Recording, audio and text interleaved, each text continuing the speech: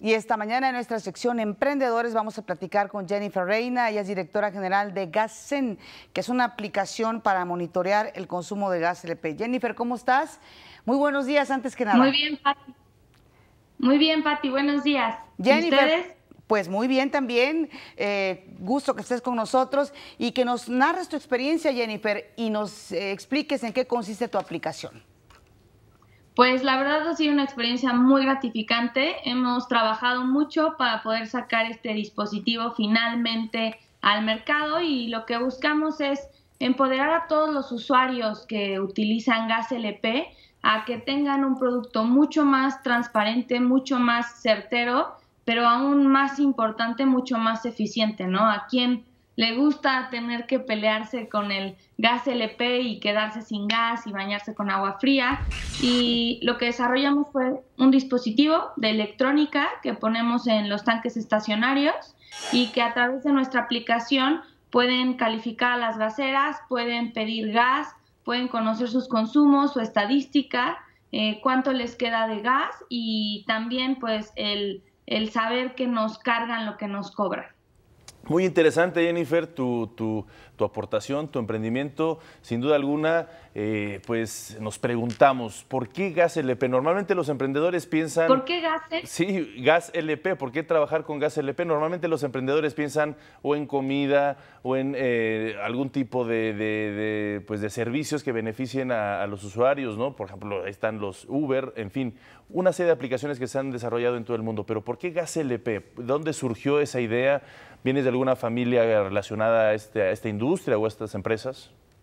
Pues nosotros creemos mucho en, tiempo y calidad para las actividades que realmente importan y todos en el equipo habíamos sufrido de tener que esperar el gas, quedarnos sin gas, eh, tener muchos conflictos con, con esto y nos enteramos de una cifra alarmante que el 40% de la gente en México todavía utiliza leña como una fuente de energía para cocinar y para tener agua caliente en sus casas.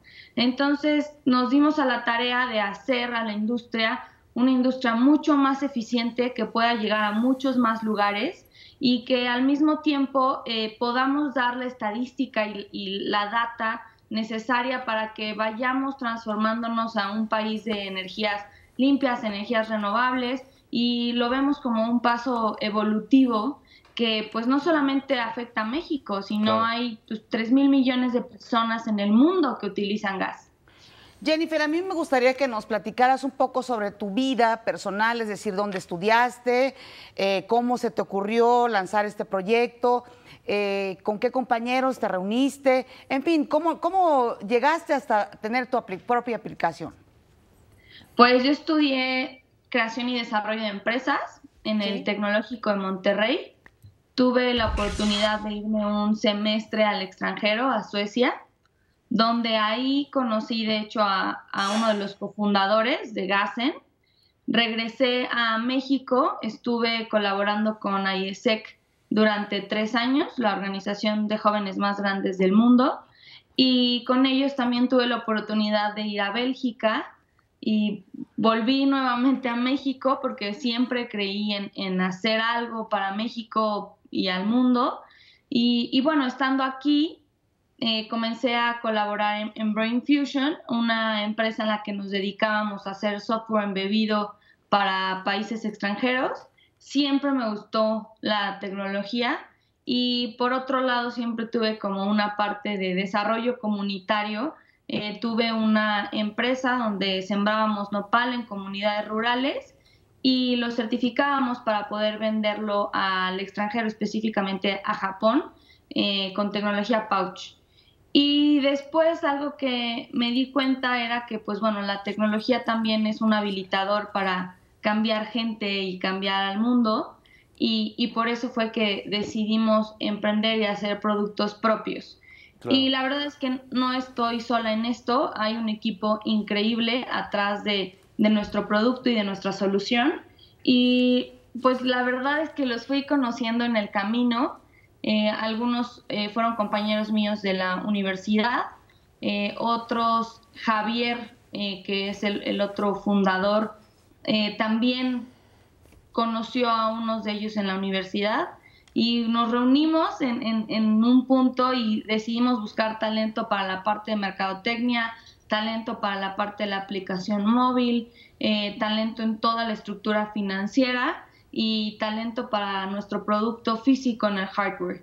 Y, y pues bueno, básicamente somos un equipo de cinco personas eh, con cuatro ingenieros junior que nos están ayudando a hacer esto realidad.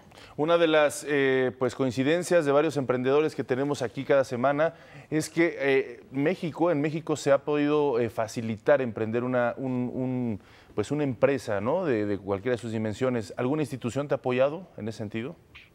Sí, la verdad es que sí. Nosotros estamos instalados en el Parque de Innovación de La Salle que pues bueno, a, su vez está apoyado por Nova Era, todos los parques tecnológicos de León, Guanajuato.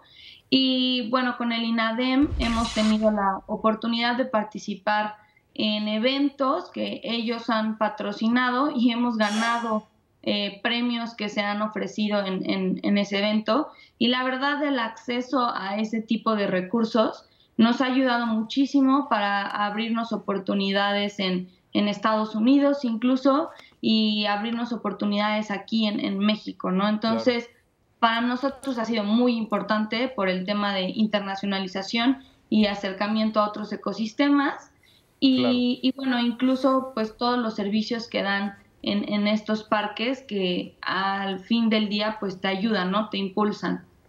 Pues muchísimas gracias Jennifer Reina por compartirnos este exitoso caso. Un fuerte abrazo, felicidades y que sigan los éxitos. Hasta luego. Muchísimas gracias. Hasta luego, hasta luego.